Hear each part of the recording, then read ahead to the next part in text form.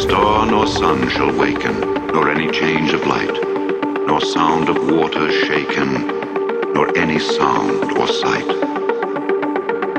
In an eternal night.